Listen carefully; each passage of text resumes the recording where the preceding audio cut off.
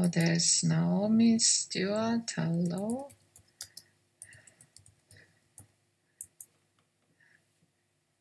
That's what I really like uh, about these online meetings to see uh, each other and like a meeting in real life uh, to see companions from during the class.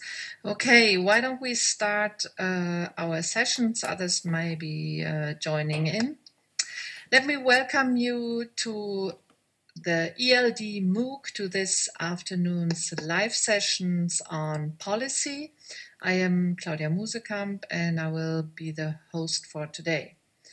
Um, I would like to introduce today's speaker to you, Louise Baker, head of the outreach and communications team of the UNCCD in Bonn.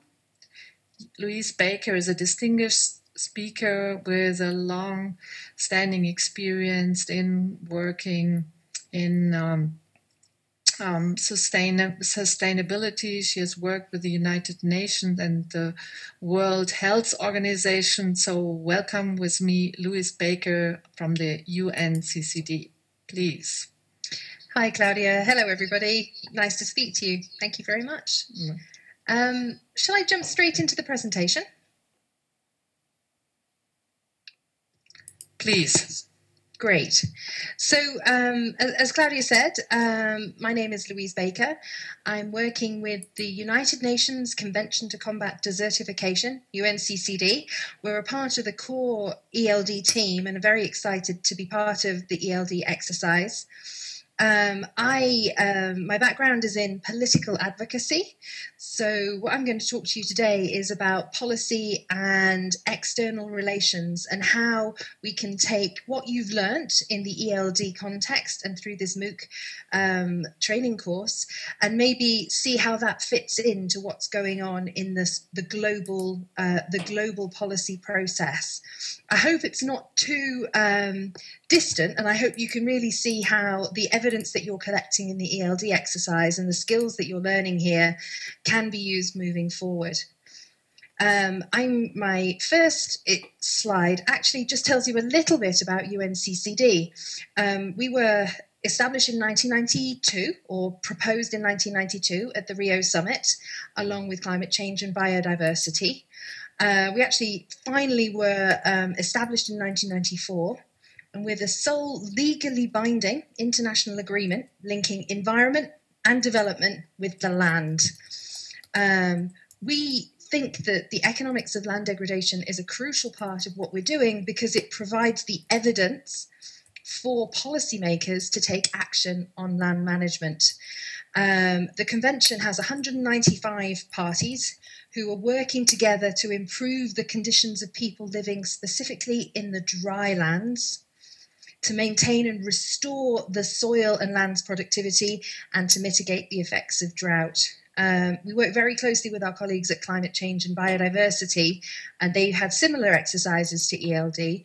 Um, but we think that actually um, really the challenges associated with the land have have reached a critical point and we couldn't be talking about anything more important at this stage um, there are several challenges that we are specifically trying to deal with and i think have become issues of the moment if you like um, inter- they really are interrelated challenges we're at a tipping point where our relationship with the land is both unsustainable and a threat to lives and livelihoods. And unless we act under climate change and under increasing population pressure, it's only going to get worse. In places like Mali, we're expecting to see um, climate change and degradation impacts on agriculture, for example, undermining food security. And it could lead to losses of around 30% in terms of agricultural gross domestic product. That's a huge amount of money. Um, we could be looking at two and a half billion people living in parts of the world subject to intense water scarcity.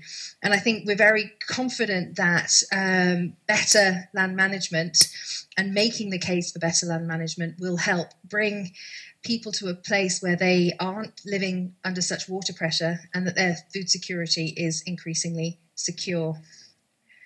Um, essentially the kind of the main theory is what we're saying is uh, as part of the security discussion as well is that there is no development without security and no security without development.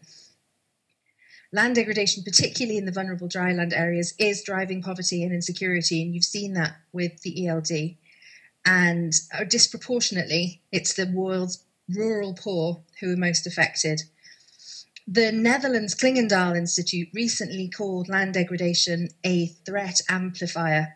It takes whatever underlying threats are out there and it magnifies them. Um, many poor, rural, and land dependent people have very little choice now about what they can do. So I think the case that you're making for land degradation is very important. But this isn't just a question for Africa and for the drylands. And certainly with the ELD initiative, we're trying to look beyond that and trying to look at different parts of the world. Um, I, the country that I know well is the UK, and we can look at the situation in the United Kingdom as one example. Um, British insurers estimated that the cost of the UK floods over two months this last winter was close to 1.2 billion euros. This picture here is of a guy by the name of James Winsdale. His family um, own a farm in Somerset in the south of England. They've owned it for 150 years, uh, three generations, and earlier this year, 95% of it was underwater. In previous years, they've lost hundreds of thousands of pounds, and this year it will be even worse. Um, it's our choice, though, about how we manage the land and soil. And it is an economic choice, and you've seen that in your ELD analysis. analysis. Um, but we're making some rather strange choices. In the European Union, um, a thousand square kilometres are lost every year for housing, for industry, and infrastructure. Every 10 years, the EU paves over a surface area the size of Cyprus. Um, and as well, the the relationships between countries are also really important. Uh, Europe's land footprint, because we have an appetite for products that require large amounts of land, things like meat, dairy, timber, and forestry products, we're consuming land in other parts of the world. Europe's land footprint is now around 640 million hectares a year. That's about nearly 60%, sorry, of the land that um, used to meet Europe's demand for agriculture and for forestry products is now coming from outside of the continent. So I think what we're saying is that land degradation is something that's happening all over the world, and there is a complex web of relationships between developing, developed consumers, rural poor that need to be better understood. And I think ELD has got an important part to play in that. Um, the challenges, I think, as we're looking at them at the moment, and this is where ELD and this exercise play very well, that land and soil are underappreciated and undervalued. You, if you make, if you know the value of something, you make smarter choices about it. The policy framework, the global policy framework, and the local policy framework doesn't match the need and there really is a lack of capacity to take proven solutions to scale. We're working on some examples at the moment about how we can do it, things like the Soil Leadership Academy, but there's a real gap between um, what we know and what we can make happen. But I do think it's um, the issue of land is an idea whose time has come. This is just a series of activities that are happening throughout the next 18 months um, from um, meetings around the security aspects of land at uh, Caux in Switzerland in June, the Climate Change Summit later this year, where we'll look at resilience. Um, the Italian presidency of the EU We'll look at food security and migration, and land a very important part of that, along with the Milan Expo as Claudia mentioned, next year is the year of soils. And we will also, in 2015, look at disaster, renegotiating the disaster risk reduction framework globally. Germany will host the G8. We will agree the sustainable development goals and move towards a global and replacement of the climate, climate change agreements. Eventually, we will also implement the new UNCCD strategy. But as you can see, over the next 18 months, there's an exciting agenda going on. Um, uh, what we think needs to happen for land is that incentives to change the current practices and promote resilience are developed and developed and placed within these international processes. We want to look at incentives that discourage land, land degrading practices, accelerate the adoption of SLM, harmonize policies um, across ministries and agencies dealing with land strengthen the rights to land and investments in that and how we govern the investments in natural resources, strengthen drought policies and climate adaptation and resilience mechanisms. And as I said, the timing really is perfect. And I just wanted to do a little bit of a walkthrough so you can see where um, where the kind of the key pressure points are in 2015 um, we would see that in March 2015, the World Conference on Disaster Risk Reduction is taking place. It's supposed to be about how um, how the world prevents more disasters. And one of the most impactful disasters is to do with drought and famine, and better management of the land would be a hugely important investment. Unfortunately, when we talk about disaster risk reduction, we tend to talk about the response rather than the prevention. Um, and I think there's a movement now to look at how sustainable land management can be used um, to help prevent the impact of disasters. Later in the year, in September 2015, we'll look at the Sustainable Development Goals and a discussion around whether a target about how we manage land would be helpful in terms of driving driving global action. And then in November 2015, at the Climate Change Conference of the Parties in Paris, we'll look at both the role of land within adaptation and mitigation. So 2015 is a very pressured year in terms of um, in terms of where we're going and what needs to be achieved. And I know, talking with the colleagues at the ELD Secretariat, that we will plan a series of ELD related policy launches of the publications across the year.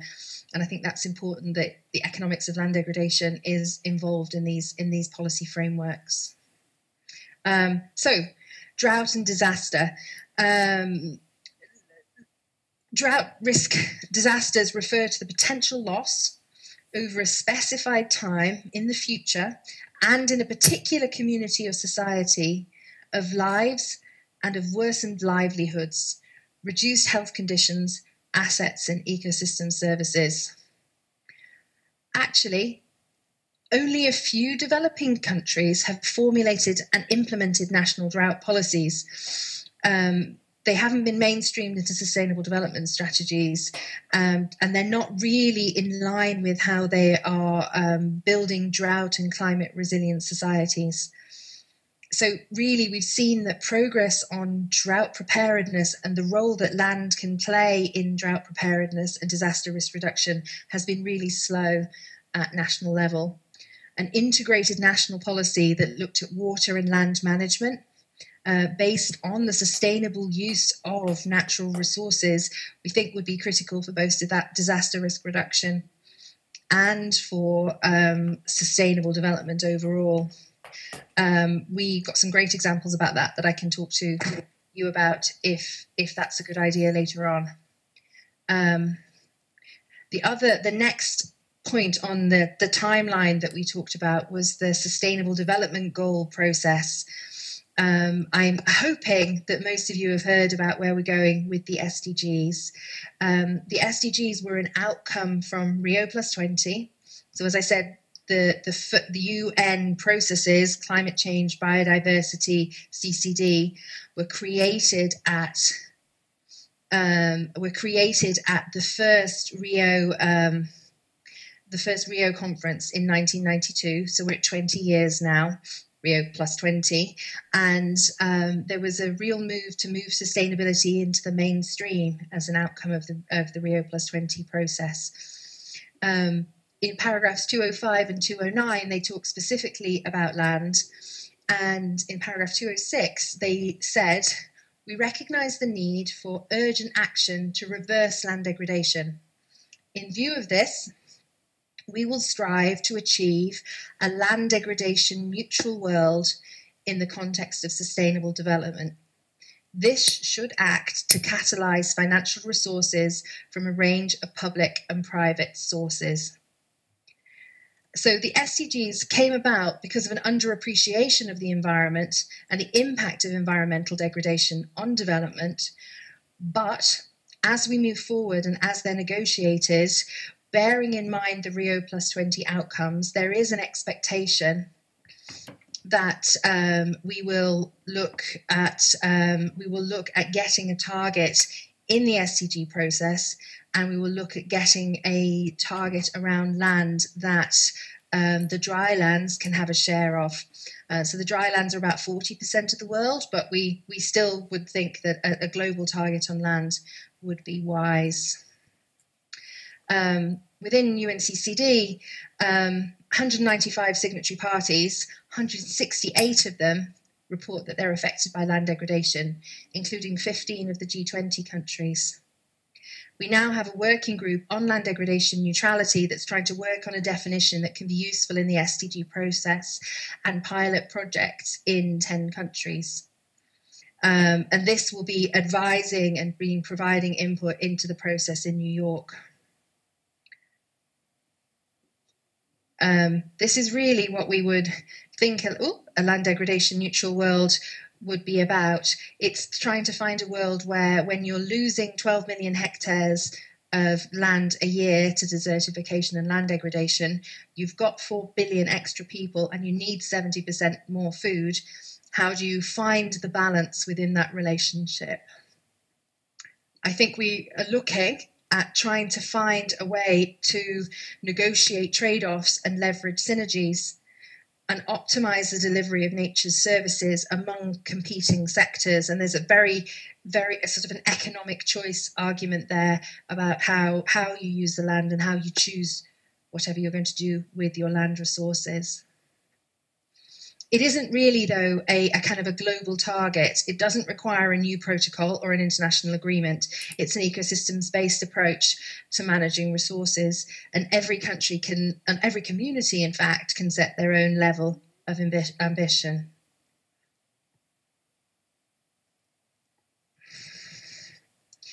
So, Following Rio Plus 20, the process then went forward to New York and to the negotiating groups at the, the permanent representations to the United Nations in New York.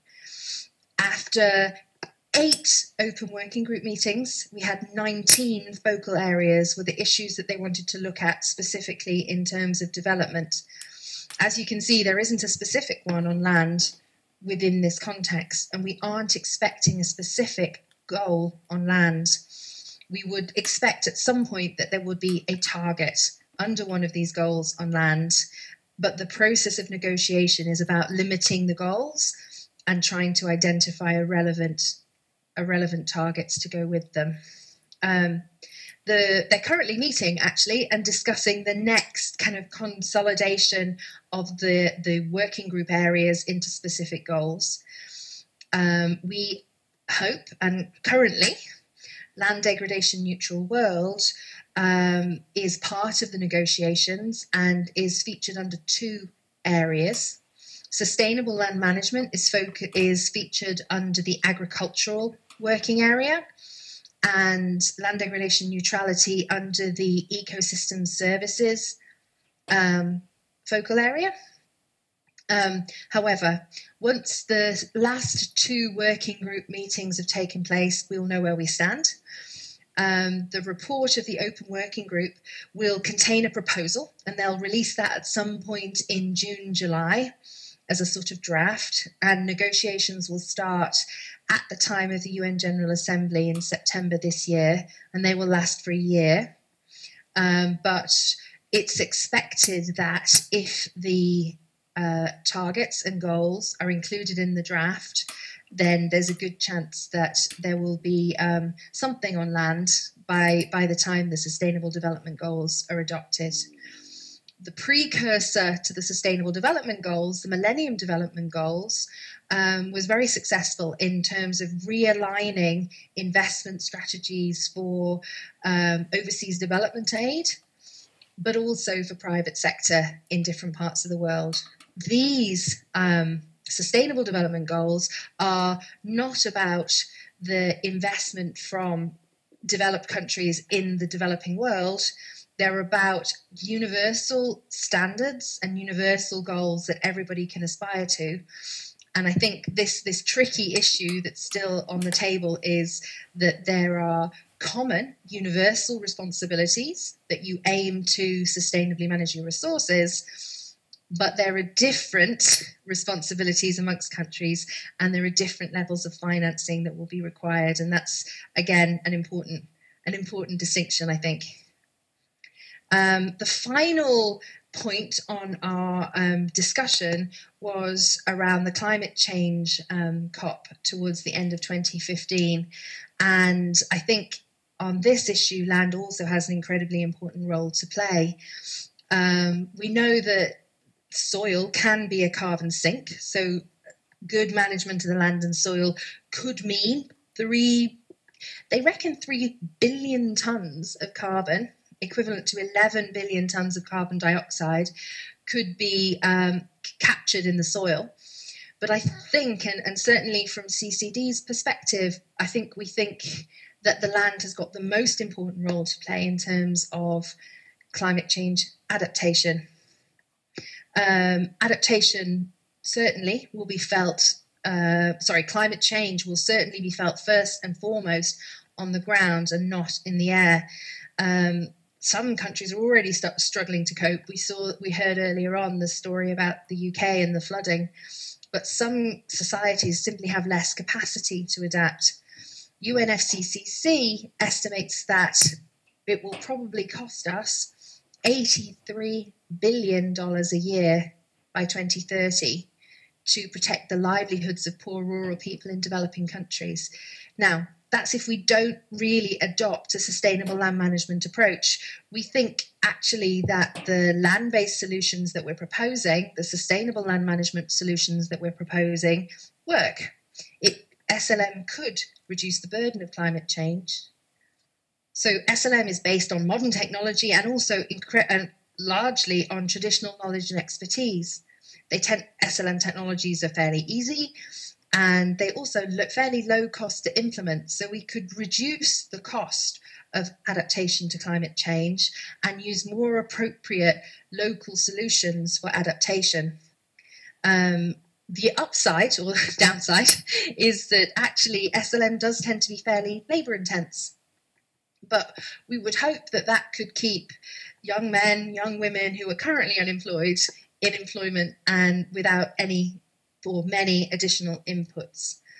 Um, to put it simply, I think if we don't manage the land and soil effectively, at least in most countries, we will not be able to address either climate change or land degradation adequately. Um, we're look, really looking for a more holistic vision of soil management and land use to improve the ecosystems and prevent economic losses.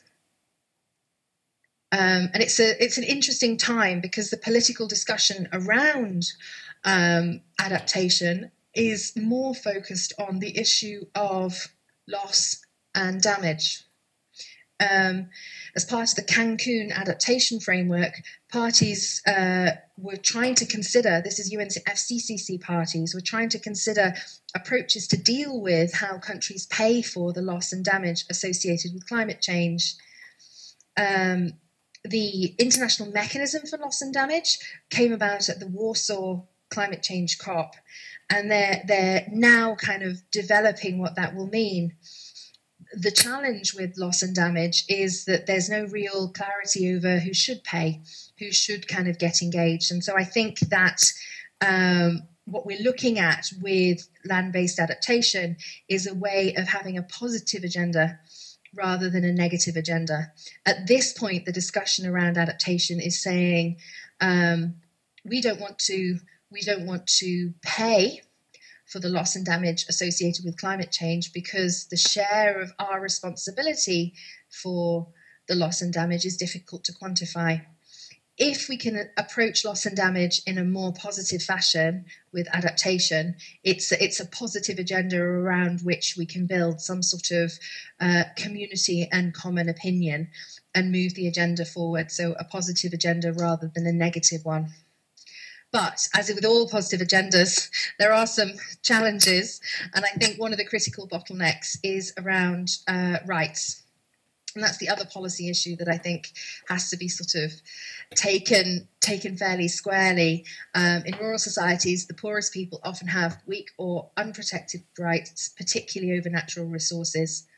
Um, giving women the same access to men to agricultural resources in developing countries would raise farm production by 20 to 30 percent and increase total agricultural production by up to 4% in some countries. And that's a huge uh, bonus financially for, for poor societies.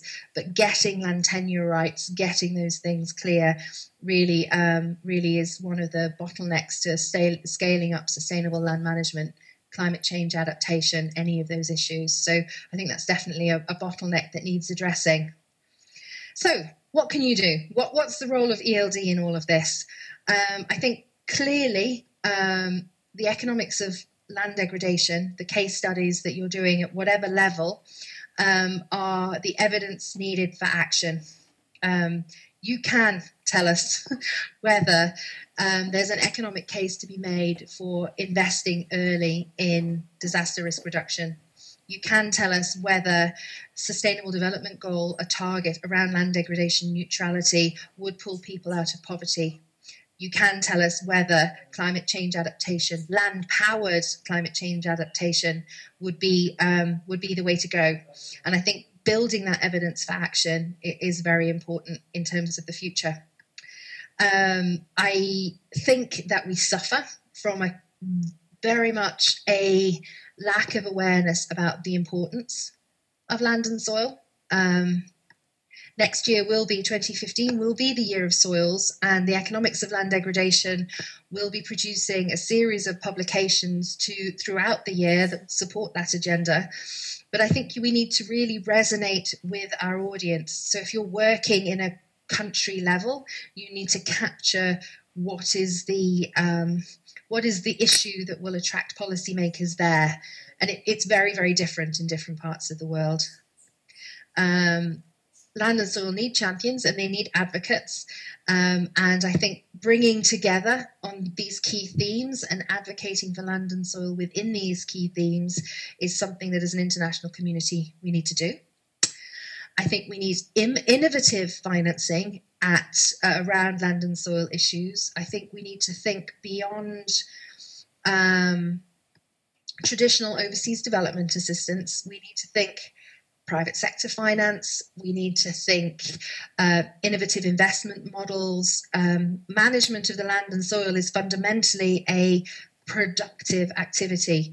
Um, most most land transactions, in fact, are undertaken by the private sector. So, how innovative can we be about plugging the financial issues and the financial gaps? Um, I think we need to build synergies with other issues. So, as, as ever, we talk about issues from our own perspective. But I think what we need to do is try to be the solution and not the problem. So rather than talk about the negative implications of land degradation, let's talk about the positive opportunities of investing in sustainable land management. How can we help avoid disaster? How can we help build a bright, sustainable future? And how can we help um, the populations adapt to climate change in a constructive, financially viable way. Um, and I think my final point, probably, and this is my area of, uh, of passion and interest, is about building partnerships. I don't think that we, as an international community, certainly not as the United Nations, which does um, negotiations between governments. I don't think that we can achieve anything if it's not done in partnership between governments, civil society, and the private sector. And I wanted to just flag up uh, the private sector partnerships that we are working on at the moment, which are potentially kind of interesting. Um, we see that there are kind of businesses that are taking on sustainable land management, taking on investments in um, in small smallholder farmers, trying to increase the um, increase the policy awareness and get the policy framework right. We're working with World Business Council for Sustainable Development and their partner companies to develop a Soil Leadership Academy, which will um, hopefully build the capacity of policymakers to frame the policy policy environment better. Um, World Business Council also has ad- adopted a, a um, societal must have as part of their Action 2020 program on land management. And the UN Global Compact, with its partner companies, is developing a um, developing a soil principles to be submitted to the General Assembly later on this year. So, what can we say? I think that um, there's a lot of challenges in land management. There's a lot of challenges in making the case that this is an interesting issue um, within the global policy context. But um, the next 18 months will be an incredibly exciting time. There's a lot going on. The evidence for action that is being uh, developed by ELD and by the stakeholders in ELD is going to be critical to making the case uh, for land and soil within these international policy contexts. So it's an idea whose time has come, and we're delighted that we're working with ELD and with you all. So I'm going to stop there and leave uh, the floor open to some questions. Thank you very much. Thank you, Louise, for this great presentation on policy. And I'm very happy that you showed us how we how the ELD MOOC is really part of an, a global uh, engagement in combating uh, land degradation. So thanks a lot for that brilliant uh, presentation. Thank you. Thank you. I see people clapping. Thank you very much for listening. I have to apologize for to those who joined the meeting uh, later who had trouble getting in uh, because the link uh, was not working properly or one of the links on the platform was not properly. I uh, fixed it uh, during the presentation, uh, but um, yeah, sorry for, for the inconvenience. Today we have a sort of recording that won't allow us to take audio questions. So if you have a question, uh, please uh, write that uh, in the chat. I see Jennifer has joined the meeting. Ephraim in Rome has joined the meeting. So if you have any questions, please write them in the chat. Meanwhile, I've got one. Uh, Louise, you were uh, speaking about uh, private uh, sector partnerships. And uh, I was wondering, usually we hear a lot about uh, obstacles and problems working with the private sector. what would you say is um, the um, really most uh, or the issue about land degradation that is most attractive to business uh, sector?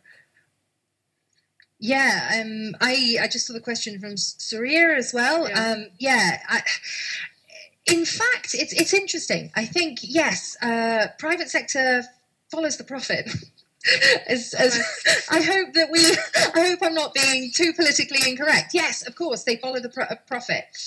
The idea of the private sector being involved for um, environmental reasons in the sort of the fluffy definition of environmental reasons, I think is is is not right. I don't think that's likely to happen. However, when you talk to one of you talk to the companies that we're talking to now who've got a real interest in the productivity of the land and soil. I mean, agricultural companies, forest companies, water companies, mining companies, um, that whole group um, of companies that are generally quite related to the to the soil. It's a fundamental part of, of how they're now planning their um, their strategies. If you look at, um, there's a couple of companies actually that are worth looking at. Puma has got an interesting entire value chain approach, which which looks at environmental profit and loss accounting as part of their business agenda. And the company that we're working with quite a lot at the moment, called Syngenta, has got something called a good growth plan, which looks at their business model. Um, and I think that they are, um, their interest in doing it is looking at the fact that if they don't have productive land and soil, they won't sell any any products. So, you know, for example, the Syngenta company um, are seed manufacturers. They won't sell any seeds if the land and soil aren't productive. So there's an, a real business interest for them to be involved and for the policy environment um, to be involved. Now, what we we do have to be careful about companies that want to greenwash yeah, we try to av- avoid companies that are just getting involved to say that we're doing something environmentally friendly. I think what we need to look at is, is the whole value chain of where the company's going. Um, honestly, we, we tend to see that many companies are being more. Um, at least on paper, more proactive than some governments because they can really see the immediate impact of land degradation on their business opportunities. And there are business opportunities out there. Um, I'm sure in the ELD interim report, it talked about um, closing the yield gap on the productivity of the land and soil, leading to 1.4 trillion dollars of increased agricultural production. That's a lot of money and business follows the money. So, um, yes, I think we, we have to be careful that companies don't greenwash what they're doing. They aren't doing it just for public reasons, and it is about value chains.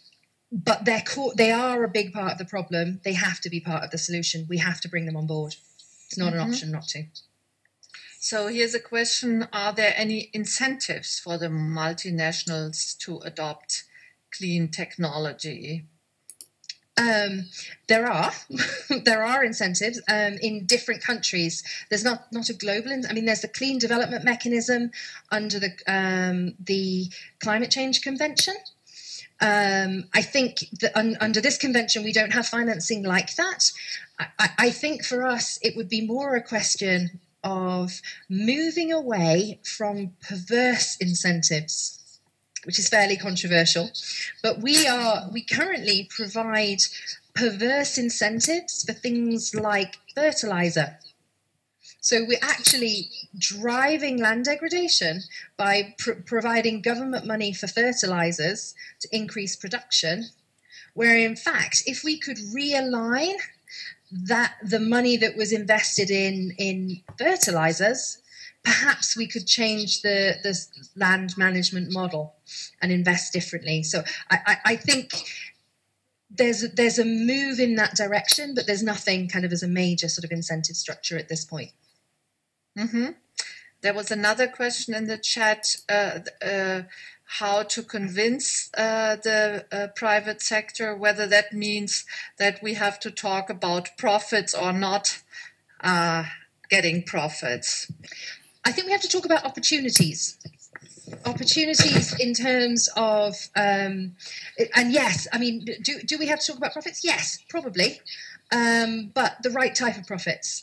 Um, and companies are part of a of a community, and so I think we have to talk about profits in terms of the reliability of their supply chains. So they re- rely on supply chains, and if their supply chains break down, because the um, the process isn't that the land isn't being sufficiently well managed that they can't get the ecosystem services. That's a big issue. I think we can talk about um, the right kind of profits in terms of um, lost opportunities. So I, there are huge markets out there. You know, actually, people who are in poverty in the rural in rural poverty are not consumers. There are huge potential in saying to um, to a, company, listen, if you're investing in an emerging economy, but there's this entire group of people who live in um, degraded land who don't have any access to resources. If you brought their level of income up, they would also then be potential consumers of your products. So I think, yeah, yes, if we talk to the private sector, we need to be talking in their language. It's about uh, it's about expressing um, the economics of land degradation argument in a language that speaks to, to business.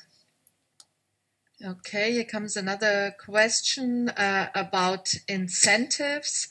And are uh, you were? I think you were talking about uh, wrong kind of incentives already. Is are there in major incentive uh, which might be more costly and thus less attractive uh, for the private sector now?